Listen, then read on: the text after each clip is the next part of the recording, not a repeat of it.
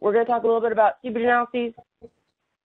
And this is normally a uh, upwards of four or five day course that the Army Corps presents uh, through our prospect course uh, series. So I'm condensed it down into a couple hours. So if you don't understand everything that I throw at you, don't worry. This is just kind of an introduction. So we're going to talk a little about estimating the hydraulic conductivity of soils, talk about seepage through soils, describe uh, flow nets. Flow nets are a really good base for understanding seepage, so I want to talk about them. And then we're going to compare flow net analyses to finite element analyses, which is probably what most y'all use these days for performing seepage analyses. Excuse me. Um, so the main governing equations for seepage analyses are Darcy's law, which governs the flow, the um, how water flows through soil, and then the continuity equation, which is the Laplace equation um, of how fluid goes in and out of a model. Um, so uh, typically when you're looking at Darcy's law, the fluid is water and the media is soil in seepage analyses, but we can use Darcy's law for other fluids such as contaminants and other media. Um, instead of soil, we can use rock. Uh, water can flow both through rock, the pores, the pores in rocks, and through fractures in rocks. Um, so you can, it can be applied to multiple situations. Uh, so Darcy's law is shown here. Um, Darcy's law was based on laboratory experiments done in the 1800s in France by Henry Darcy. Uh, it's uh, water. He looked at water flow through vertical filters, and he came up with this equation, which is Q equals KIA times T, the duration of flow, which we normally neglect um, in seepage analyses because we're looking at steady state 99% of the time. So Q is the quantity of discharge through that filter or through that uh, model. K is the hydraulic conductivity, uh, which in um, seepage analyses and in normal everyday course of discussion in geotechnical engineering, we call the permeability. But the true term for that is either the coefficient of permeability or the hydraulic conductivity. So I will use hydraulic conductivity in this discussion. Um, hydraulic gradient is I, so that's the head loss across your model divided by the length over which that head loss occurs, so delta H over delta L, and A is the cross-sectional area through which that flow is occurring. So here's um, just kind of how the discharge velocity is calculated, um, and the, so that's the Darcy velocity or the velocity through the soil, and then the Q, which is the rate of discharge um, that you're looking at here. So these are just a couple more equations. Uh, there's a good derivation of Darcy's law in our seepage EM, which is EM 1110-2-1901. Um, so if you have uh, questions about that, that's a good uh, reference to look through. There's also a seepage textbook called um, Seepage and Seepage Drainage and Flow Nets, written by Harry Cedergren. Um, that's considered kind of the seminal work in seepage analyses. So those are two good ones to look at. So talking about Darcy's law, there are some limitations to Darcy's law. You must have laminar flow. You can't have turbulent flow because turbulence messes up the equations and the calculations. Um, it alters the permeability. Um, it alters the flow rate. So you can't you can't have that. Um, it must be saturated flow. Again, if you have partially saturated soils, permeabilities change, flow rates change. So uh, Darcy's law no longer is applicable. Um, we look at steady state flow. When you start getting into transient flow, that alters the equation as well, and you're looking at um, more along Laplace's equation and um, more higher order evaluations. Uh, um, in Darcy's law, you're looking at a homogeneous media, which is absolutely not what you have in reality. So uh, there are some corrections that we do to make Darcy's law apply. Um, that Darcy velocity we're talking about isn't really a real flow velocity, it's kind of an average velocity. I'll show a figure coming up next of what Darcy's velocity is versus the actual flow path. Um, and then K is the hydraulic conductivity, which has been developed to fit the formulation of Darcy's law. Um, so it, it's useful for this. Uh, and it's a measure of soil properties, but it's, it's used in specifically for Darcy's Law. Uh, so here's kind of the uh, how water really flows through the soil. It'll go through those pore spaces in and around grains, but we take a look at an average linear flow path when we do our evaluations.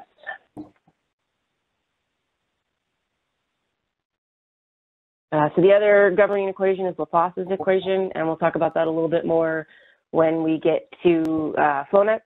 Um, so here's that general differential equation. Um, the water in equals water out, flow in equals flow out in all directions. So you can see, let me pull up my laser pointer. Um, the change in flow in u over the change in your x direction plus the change in flow in your y direction over your change in your y distance is equal to zero. Um, when you apply Darcy's law to that and plug that into the equation, you get this uh, 2D dimensional 2D differential equation, and you can also extend that to three dimensions if you're looking at 3D seepage, which I don't recommend you do if you don't have a good reason to, because it's not fun. Um, so uh, this is a very basic derivation of Laplace's equation. If you want a more detailed derivation and discussion, as I mentioned, there's uh, Cedergren's textbook, and then actually the USACE uh, engineer manual, 1901, uh, is also very good guidance on that. It has a really good derivation. So the first thing we'll talk about is hydraulic conductivity because having a, an understanding of hydraulic conductivity is kind of the most important um, step in performing a seepage analysis. Um, hydraulic conductivity is one of the hardest material properties to pin down in geotechnical engineering. Um, it's a function of grain size, uh, soil structure, the density of your soil, whether or not there are any discontinuities in your soil mass, what does the stratification of your soil deposit look like, uh, viscosity of your fluid is also important. However, in most of our analyses, we're looking at just with water. Um, so, and, and, water, the temperature of the water doesn't change dramatically underground either, so the viscosity of the water doesn't change dramatically. Um, but those other properties are uh, can change the hydraulic conductivity dramatically. A small change in density can dramatically increase or reduce your permeability. So, um, how do we come up with hydraulic conductivity? Uh, well, you can you can look at empirical estimates. Um, most commonly what you're going to do. A lot of times you're not going to have field evaluations. I'm not going to talk too much about the field um, estimates for material for hydraulic conductivity, but you can, uh, that's kind of the gold standard. Um, uh, pumping tests, uh, uh just kind of uh, fluid flow, stuff like that. But uh, a lot of times you have to work with empirical estimates. Um, you, you might be able to do some lab testing. Lab testing can um, I'll talk a little bit about that uh, later, but lab tests for permeability can also be inaccurate. So uh, we do a lot of uh, comparison to empirical values. So there's published tables that have been developed over the years, and then there's also empirical equations that have been developed over the last uh, century plus to evaluate hydraulic conductivity. Um, so here's just a look at a chart from uh, one of Casagrande's uh, papers, uh, you can see the wide range of permeability. So it goes from um, 10 centimeters per second all the way down to 10 to the minus 9 centimeters per second. So multiple orders of magnitude. Um, and here this chart shows different soil types that you can um, compare to the different uh, permeabilities. So it goes from clean gravels down to what uh, people might call practically impervious soils. Uh, we're big fans of saying impervious in the Army Corps uh, for our low permeability soils. Um, and that's kind of, if you're going down to, to a, a 10 to the minus 8 centimeters per second, you're looking at a clay that has no, no sand, no, um, no discontinuities, no layering, nothing like that. So um, you can get as low as that uh, permeability. Um, and then it talks about, uh, this, this chart is really helpful because it kind of gives you uh, field tests that you can perform, lab tests that you can perform, um, some indirect determinations of permeability from grain size distributions, uh, falling head permeability tests, stuff like that. So this is this is a good chart to help kind of assess your way through how to maybe you can come up with a permeability value for your for your analysis. Um, here's another chart. I like this chart because it you can look at multiple different types of units. Uh, so most of the time we see centimeters per second for permeabilities or hydraulic conductivities. Um, but when you're looking at putting it into a seepage model, most of the time you're working in feet and, and maybe feet in days, feet in minutes, feet per second. So this helps you compare. Um, so you're, you're told you have a material of 10 to the minus 3 centimeters per second permeability. What is that in, in feet per day, feet per minute, stuff like that. And um, it also tells you soil types with the USCS classification.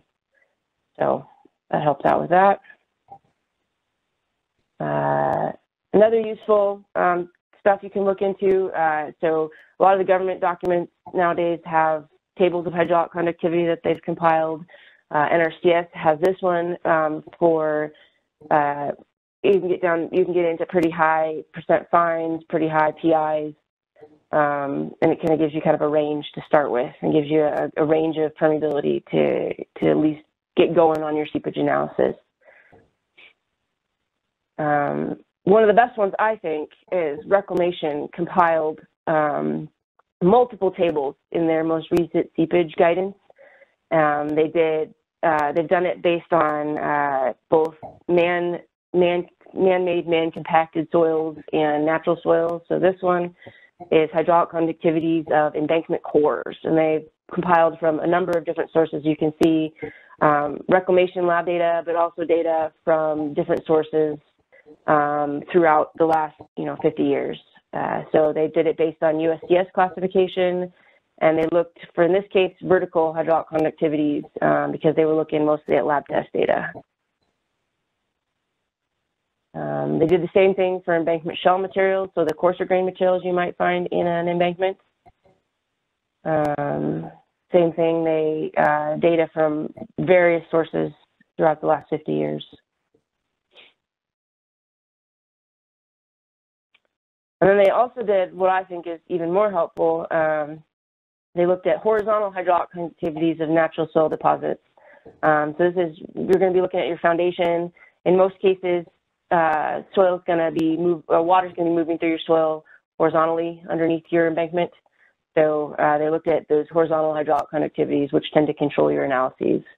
Uh, and this, again, this one is all kinds of data, um, including um, stuff from PEC, uh, Army Corps, uh, all the way back to uh, Hazen, uh, who developed material properties and developed permeability equations back in the early 1900s.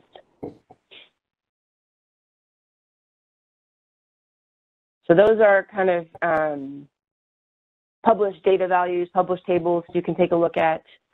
Um, there's also empirical equations. These uh, are very limited in use. They generally have a, a small range over which of the material types they can be used to evaluate. You can't use uh, one equation can only be used for say this type of sand. It can't be used for gravels or clays. So they do have very limited uses, but they do are very helpful to help you kind of understand and get a, get a general idea of material properties. Um, so uh, beginning with Hazen in the late 1800s, he did uh, work from like 1890s to the early 19, like I think he published his last publication was in 1911. Um, they recognized that hydraulic conductivity was related to the fine fraction of the soil. So Hazen himself developed equations for K being proportional to the D10 of the material, and I'll show you D10 in a minute, um, what that means. And then these equations that he developed were then modified to reflect effects of void ratio, porosity, angularity of the soil, stuff like that. Um, so uh, D10 uh, is the grain size at which 10% of the soil sample by weight is finer than that grain size. So taking a look at this example, um, you plot up your grain size analysis, uh, results of your grain size analysis, um, and you look at the percent finer um, at 10% go over, and in this case, D10 is uh, 0.15 millimeters. So that's what you plug into equations, making sure you're using the right units because these are empirical equations, so um, you need to have the correct units.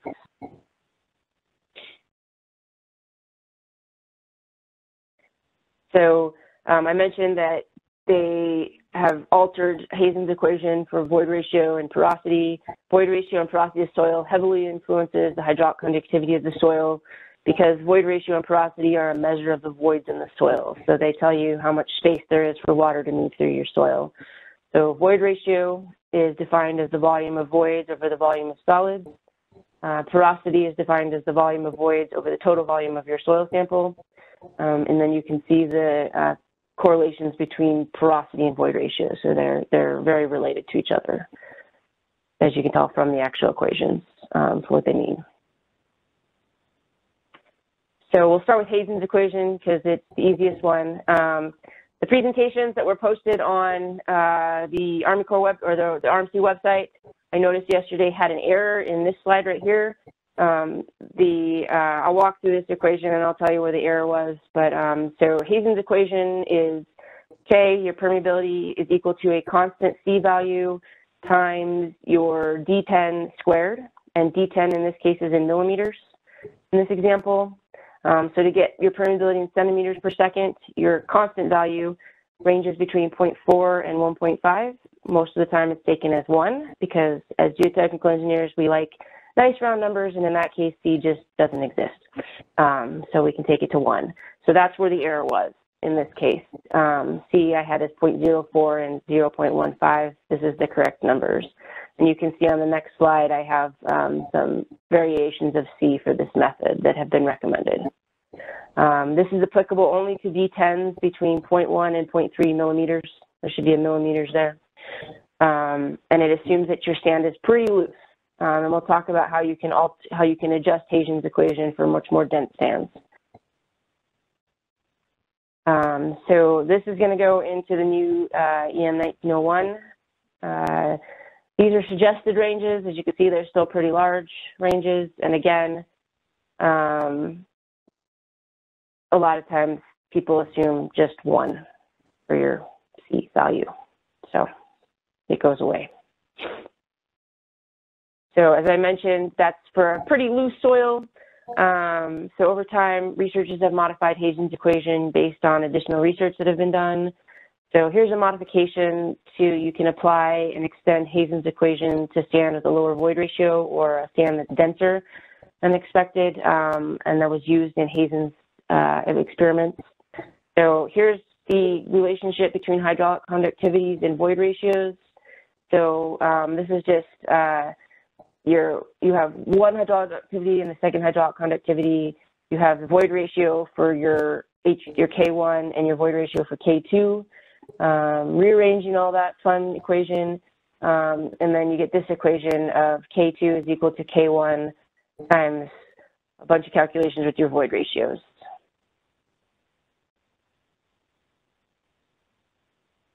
So plugging that into uh, dense and loose, um, uh, Hazen's equation has been modified so your, your dense permeability is equal to your Hazen permeability times your uh, dense, and you have your dense void ratio and your looser void ratio. That looser void ratio is your Hazen void ratio.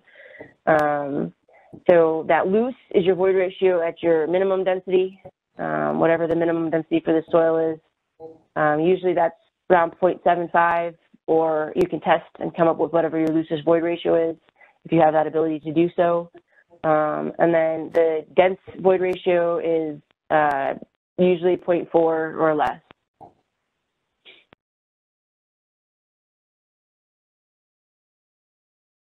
Uh, some, so I'm going to go through a few methods for a, a few additional methods for calculating uh, permeabilities based upon uh, equations. So, uh, 1915 publication by Charles uh, Slichter, I think is how it's pronounced, um, had different tables of permeabilities and void ratio and um, uh, material properties, uh, D10s. So Danny McCook, uh, who worked for NRCS and did a ton of filter testing and permeability evaluations. NRCS was kind of the leader in that, uh, particularly in the 80s, um, and we still use their data today. Um, he took that, he took those table values and turned them into a best fit equation. Uh, these, uh, this best fit equation is applicable for D10s between 0.01 and 5 millimeters. So here's that equation. Um, so you've got the porosity up here in your uh, exponent. Um, this E here is not the void ratio, it's the natural log, natural log of this um, equation here um, and you use D10 in millimeters. So it's, again, it's a D10 equation. Uh, another equation is Chapuis. Um, he, in this case, E is the void ratio, um, so not to be confusing in the slightest. But he's based on void ratio and your D10 again. Um, and then one of the more common ones uh, these days is the Kozeny-Carman relationship. Uh, this was published most recently by Carrier in 2003. It's, um, it takes a look at the uh, um, whole range of soils that you have in your uh, gradation band, um, and then it also takes a look at a shape factor, so the angularity of your soil. Um, so I'll, I'll, walk through what these all these are, but this is uh, F sub i is the fraction of particles between two adjacent sieves. And then those two sieve sizes are shown here. Um, this is the larger sieve size, particle size, and then the smaller sieve particle size. And you just do that calculation between every sieve size on your gradation band. Um, so it's a summation of all of those values. And then the shape factor, um, as I'll show in the next slide, ranges from six for rounded soils to eight for more angular soils. So six is maybe more of an alluvial soil um, collected from a, a, riverbed. Angular might be a crushed soil from a, um, um, a crusher plant. Um, so here's all those variables.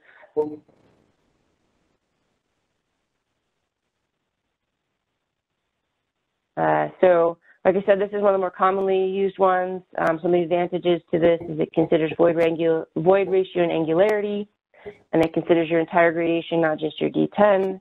Um, but it does take a little more work to calculate, um, and um, it may overemphasize the effects of any fine clay particles you have in it. So if you have a lot of fines down near the bottom of your gradation, that can cause some problems with the evaluation.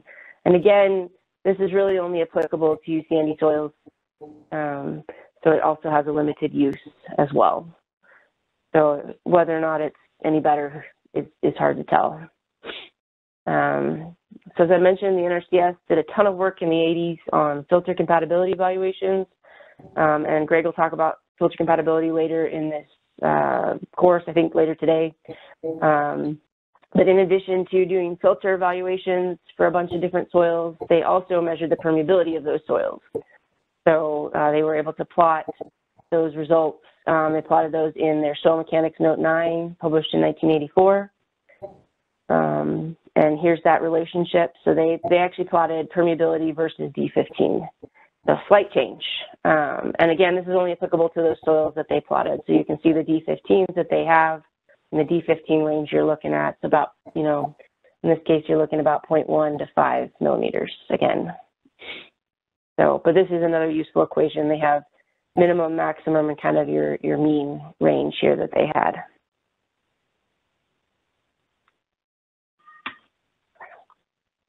Uh, one final relationship, this one is between uh, hydraulic conductivity and the D20 of the material. Again, data was in tabular form, in table form in the textbook, uh, and it was converted to a best fit equation that I'll show on the next slide. Uh, this method is really suited to poorly graded sands. Um, so with a D10 not much smaller than a D20, so poorly graded means a pretty steep gradation curve. Um, and you can see the applicable range of uh, gradations for the D20, uh, 0.005 and 2, so you're still looking at kind of fine sands. Here's that best fit equation. So D20 on the uh, x-axis and, and permeability on the y-axis. And then just here's that best fit equation for you. So I put all this information down um, into this presentation just to give you one-stop shop for at least a few equations to start with if you're doing a seepage analysis. So if you've done a permeability or if you've done a filter compatibility evaluation, any dam design in the past, um, you probably know that C33 fine aggregate um, or C33 fine sand is one of the most commonly used materials in dam construction. Uh, it's developed and mostly used for uh, concrete aggregate, but we have found, as geotechnical engineers, we like to use what we can find. Uh, found to be a really good filter for many fine-grained base soils you would encounter in most existing dams um, and then in a lot of dam foundations that we deal with. So um, that's usually the first material I start with when I'm doing a filter compatibility evaluation. And uh, Greg will go through that um, in pretty, pretty much in a pretty good detail later. Um, so uh, Danny McCook, uh, when he was doing a presentation on uh, CP, uh, on permeability evaluations and permeability estimates, he took um, C33 fine aggregate, the the, C, the fine side, this red band here for C33 stand, and he calculated the permeability using a number of different um, empirical equations that I just talked about, and calculated the permeability from those. So you can see um, it looks like a pretty big range, right? You know, anywhere from 2 to 33 feet per day. Um, but that's kind of in the same order of magnitude overall. So um, you're, you're getting reasonable approximations from all your equations. Uh, and that's probably about the best we can do for hydraulic conductivity anyways. Um, so uh, if you're using these equations on a soil that's applicable to that method, you're going to get a reasonable approximation of your permeability. All right, so now we've talked about hydraulic conductivity, uh, how to calculate it, how to estimate it. Um, we really so far talked about it as just a single value, right? Now, there's probably not many soils out there where the hydraulic conductivity is a single value for the entire deposit or even the entire layer, um, which really complicates seepage analyses. Um, so the permeability can vary as a function of your position in the soil, either horizontal, vertical, whatever. Um, so homogeneous soil, your permeability is constant for anywhere in the soil. Um, but in most cases, you'll have maybe a layered heterogeneity. So layered, um, that means, you know, there's probably like clays and sands and different materials throughout your soil. Um, there's the discontinuous heterogeneity, so you might have pockets of sand in your clays, something like that. Um, trending heterogeneity, for example, could mean that um, I've seen this in sand aquifers along rivers beneath levees. The hydraulic conductivity increases with depth below it. You have a your gradation gets um, larger as you go down. You get coarser soils as you go down, so your permeability gets higher as you go down in your sand deposit. Um, so in addition to heterogeneity, you have anisotropy, uh, where your permeability is a function of your x direction or your y direction. So isotropic soils um, is a soil that has permeability that's uh, constant in all directions and the same in all directions. But I don't know if I've ever seen a soil that behaves like that. Um, in general, your X permeability is not equal to your Y permeability is not equal to your Z permeability. Um, and in most cases, uh, the horizontal hydraulic conductivity will be greater than your vertical hydraulic conductivity um, due to the fact that in most cases in nature, materials are deposited in horizontal layers. Um, and then embankments, we construct our embankments in horizontal layers most of the time. So there's, of course, exceptions to all rules, but in most cases, that's what you'll find. So I thought this was kind of a cool um, graphic to show what uh, the different types of uh, relationship between heterogeneous and isotropic soil. So um, in the first example here, this is a homogeneous isotropic soil. So your permeability is the same at both X1 and X2, and your permeability is the same in the KZ and KX directions, or the KX and KY directions, whatever you want to call it. Um, and then this shows homogeneous soils, so the permeabilities are the same at this location, but they're anisotropic, so they're different permeabilities in the two different directions. Um, here's one where they're isotropic, so they're, the permeabilities are the same in both directions, but soil is heterogeneous, so you have different permeabilities at different locations. And then what you probably have is a heterogeneous anisotropic soil. The permeabilities are different at each location and they're different in each direction. So good way to complicate your analysis. Um, so in some cases, you may want to create an equivalent hydraulic conductivity to represent a layered system. This is very common if you're doing a blanket theory evaluation on a levee. I don't know if you guys have had experience with doing that, um, but if you work for the Corps and have done a levee evaluation, you probably have. Um, so these are the two equations you can use for vertical and horizontal hydraulic conductivity, and I'll just show you the derivation for vertical hydraulic conductivity on the next slide. Um, but it's basically a compilation of um, the overall thickness of your layer and then a summation of the thickness of your each individual layer, of each individual permeability, and the permeability of that layer. And in the case of vertical calculations, you divide, and in the case of horizontal calculations, you multiply those values together. So, so here's just the derivation of the vertical um, equivalent horizontal, vertical, equivalent vertical hydraulic conductivity. I could explain that. There's a lot of um, uh, letters there. Um, so basically, your vertical hydraulic conductivity or vertical um, flow, so this is V is your vertical flow flow rate, is equal to your vertical hydraulic conductivity times your gradient delta H over D, and then we're assuming A is a unit A at this point, a unit area. So um, then you split it into the different um, layers. So you have the same equation, but applied to each layer. Um, and then your overall uh, head loss uh, or change in head is equal to the sum of the head across change in head across each layer. And then your flow rate, because it's going through each of these layers, the flow rate's not going to change. Overall flow rate's going to be the same. Um, so that's how we get that equivalency. So playing around with all these values, and since it's, you know, 8.45 in the morning, I'm not going to go through the equation, but um, you can take a look at this on your own if you'd like, um, just to see how that's derived. And there's a similar derivation for the horizontal hydraulic conductivity.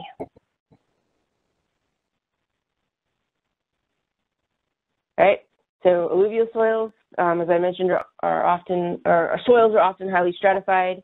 Um, alluvial soils in particular can um, be highly stratified and have high anisotropy.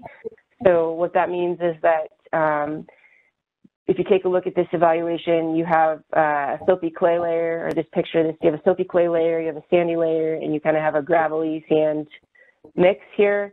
Um, the water flow going through vertically through this is probably going to be um, controlled by the permeability of this silty clay layer. Um, but the flow going horizontally through this layer is probably going to be controlled by your coarser grain gravels and sand layers. So you're going to have different uh, permeabilities. So reclamation, being ever helpful, um, took a look at different uh, material, materials they had in their dams and in their different sites. Um, and they looked at natural soils at, at all their various dam sites um, and came up with some ranges that they have for their different formations. Uh, as you can see, these are kind of can be kind of large. so for stratified deposits, your anisotropy can be anywhere between 10 and 1,000. Uh, so it is really very dependent upon the layers of your system. So this is uh, at the best a guide, at the worst not particularly useful at all but it gives you kind of a range to work with so that you know, hey, I have a stratified deposit. My my anisotropy is probably not one. Um, and I did want to point out that in this case, KH over KV is shown here. Um, in uh, seepage analysis, if you're using, say, SeepW, it's going to be the opposite. You're going to look at KV over KH. So make sure you put things correctly into your analysis. Um, I'm speaking from experience. That's tripped me up more than a few times. Uh, so now we'll take a look at different uh, different things that can change your anisotropy um, and hydraulic conductivity. Uh, so this is a cool figure, I thought, um, because it shows you how uh, water how the change in water content and the change in compaction as you compact a soil affects the structure of uh, your clay. This is compacted clay in particular. Clay is heavily affected by compaction. Um, so uh, we, are going to take a look at flocculated versus dispersed. So a, a, flocculated structure, you can see the clay particles are kind of all over the place and they're spread out. Um, dispersed, they're, they've been kind of laid out in horizontal lines and they're a lot more, they're a lot, the particles are a lot closer together. So as um, as water content increases in your soil, the clay soil structure becomes more dispersed or more kind of even out and layered.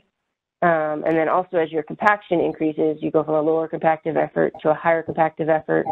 You go from um, kind of highly flocculated to moderately flocculated or moderately dispersed to very dispersed. So you, you kind of get that more compacted and more platy soils. Um, So this can increase your horizontal hydraulic conductivity to an extent, but it definitely decreases your vertical hydraulic conductivity. Um, and uh, more compaction um, will help with that as well. Uh, so the moisture content is really the big deal in this case. Uh, this is uh, a figure we have in EM 1901 um, coming from LAD, developed in 1972. Uh, this shows that uh, even a small increase in water content can dramatically decrease your permeability.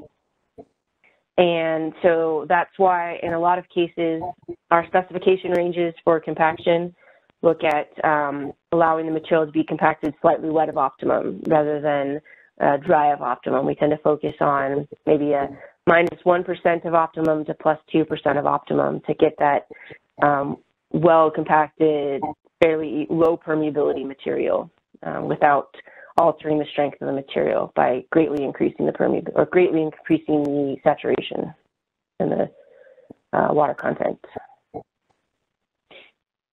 So the anisotropy of embankment soils, um, excuse me, is uh, a lot less than and a lot tighter bands than natural soils. And Reclamation uh, has also compiled a um, uh, evaluation of that. So you can see for core materials, um, using kind of standard and uh, USBR compaction procedures. And to be honest, I do not remember what's different between reclamation's compaction procedures and standard everyday compaction procedures. But you can see that the anisotropy kind of decreases. Um, hydraulic fill, we have a few of those dams out there still. I know the Corps itself has some in our inventory that uh, anisotropy can be pretty great because again, we're doing it in a layered system um, and in hydraulic deposition, um, that layering is even more apparent. Uh, reclamation also did the same thing for embankment shells. Awesome. Sorry, I just saw a message and got distracted. Um, okay, so another um, important thing to take a look at is fines content. If you're looking at a clay soil um, or a silt soil, the type of fines can dramatically affect your hydraulic conductivity. So you can see, just taking a look at um, this one, you have clay, silt, loams, and then you have kind of uh, silica and limestone fines. So those are pretty um, low uh, plasticity fines, stuff like that. Uh, as, as, the plasticity of the fines decreases, the permeability will increase. Um, so just looking at this example, you're looking at 10% uh, fines, you have 10% clay fines, your um, versus 10% loam fines, your hydraulic conductivity will increase by an order over an order of magnitude at the same fines content. Um, and then to even further complicate things, you take a look at your clay fines, and the type of clay fines can actually affect your um, uh, void ratio, which will affect the hydraulic conductivity. Uh, or sorry, at the same void ratio, you'll have a different hydraulic conductivity. So the same density, um, you can have a different hydraulic conductivity depending on your different types of clay fines. Um, and that's just because different clay particles are bigger than other clay particles. And so that'll affect your hydraulic conductivity. Um, so going over to coarse grain material, um, you want to take a look at the density and then the types of grains, whether or not you have angular or rounded grains. Um, however, this isn't as big of a um, effect as the fine fraction would have on your soils. So if you take a look at this one, um, they did tests on C33 sand and they looked at rounded sand, rounded C33 sand and angular C33 sand um, at different porosities. And so as the porosity decreases, your permeability decreases. But taking a look at these um, uh, porosity, taking a look at these permeabilities, you can see there's not a dramatic change in permeability.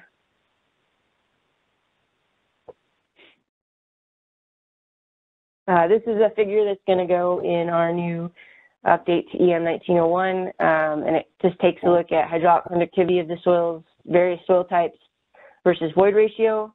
Um, and as the void ratio decreases, you can see um, one of these examples. So this material, the void ratio, um, as it decreases, you can see the hydraulic conductivity decreases. Um, and that makes sense because as you as your your void gets smaller, there's less space for the water to move. So uh, and a big um, consideration, uh, particularly for partially saturated soils and transient analyses, um, is the degree of saturation. Uh, so as your soil um, becomes less saturated, the permeability will actually go down, and it can go down quite dramatically. Um, so uh, when the degree of saturation is less than about 85%, Darcy's law is not applicable either. Um, but when the degree of saturation is greater than 85%, uh, most of the air present in your soil is in the form of small bubbles in the water. And so then you can uh, approximately apply Darcy's law. But you have to understand how your permeability changes with changes in degree of saturation. Um, so the as the degree of saturation decreases, so as you as you lose water um, and you get more air, there's less space for the water to move, and your permeability will go down. Um, and there's equations and relationships that you can include in your seepage model to uh, to, to show this relationship. All right. So now we've talked about um, permeabilities, how permeability is affected, um, the equations that govern steady state flow. Um, they're going to talk, look, now we're going to start talking about ways to solve Laplace's equation. Um, so there are uh, a few solutions that you can do. The first one is closed form. These were developed early on, uh, but they're only applicable for very limited cases. So if somebody took in and out, they analyzed a certain geometry and they told you what the results are. And they do it for different permeabilities. Um, and, they, and so you can pull in your permeability and you can look at the results. But again, it's for one specific case. So it's, it's really only applicable to that case. Um, the graphical formats of doing it, FlowNet. Mm, how many how many people have seen a FlowNet before? Worked with FlowNet? Oh, good. A large part of the class. Sweet. Um, so I'm going to talk about FlowNet, but I'm not going to go into too much detail. Um, and then uh, numerical analyses, which is the most common these days. Uh, go on, go on, out. Oh, sorry, my dog joined me. Um, that's uh, finite element, finite difference. Um, I bet a lot of you have worked with uh, SeepW. SeepW is a finite element method analysis program. Um, analogs, which I think are the coolest and I've never gotten a chance to do, but you can do electrical analog models, you can do viscous fluid models. So basically they set something up in the lab. Um, they have different, uh, in an electrical analog model, they have different uh, electrical resistivity paper and they just push electricity through your model to see how it behaves. So I've not gotten, ever gotten a chance to see that or to do perform one of those, but I thought it was kind of cool. Um, and then the method of fragments. Um, how many people has anybody here done an evaluations using blanket theory for levees? A few people, yeah. um, it's a method that the Army Corps developed in the 50s to evaluate levees, under seepage through levees, um, and they use the method of fragments um, developed previous to the 1950s. Um, it's a very useful method um, and is still used today in levee evaluations, but it does require simplifying your geometry, so it may not be useful in all cases. Uh, so I'm going to talk about FlowNets. Um, I think FlowNets, are, understanding FlowNets is very useful to understanding seepage. So even though we do most of our evaluations these days with numerical models, um, I find numerical models to be a bit black box at times, and I, I really want everybody who does seepage analyses to have a, a good background in FlowNet and understanding FlowNets and being able to sketch a very basic FlowNet. Um, when we do our our seepage uh, and piping, or I think it's just our seepage course, um, a prospect course that the Corps puts on. Uh, we actually have people drawing flow nets, um, and it's really helpful for them to figure out seepage analyses. Um, so in a flow net, uh, flow is represented by flow lines, and then total head is represented by equipotential lines. Um, for isotropic conditions, which is what a flow net is used for, uh, you have flow lines and equipotential lines intersect at right angles and they form what we call curvilinear squares, and I'll show those in a few minutes.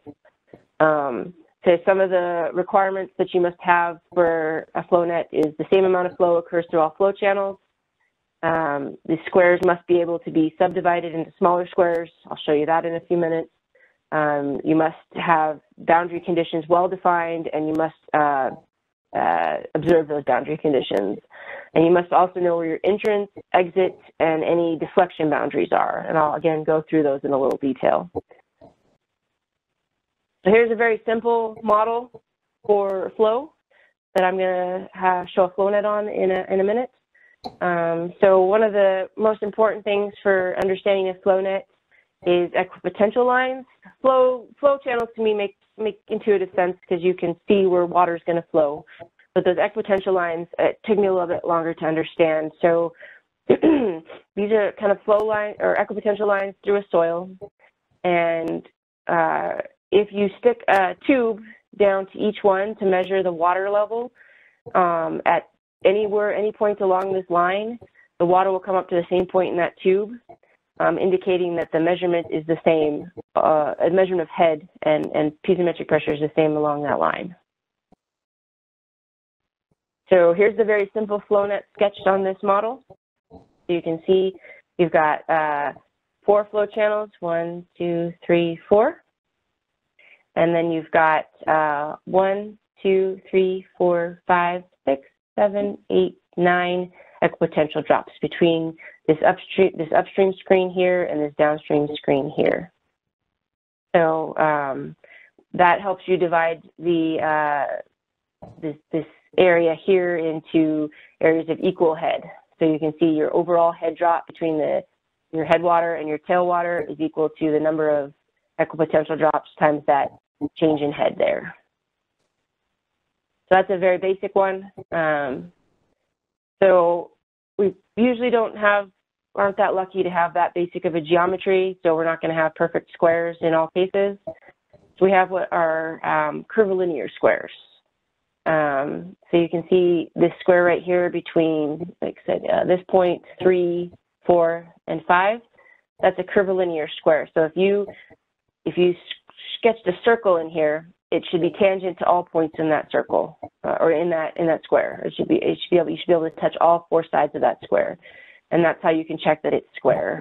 Another way to uh, make sure that it's square is if you sketch in additional lines and additional flow channels, as potential lines and flow channels, you get identical little tiny squares.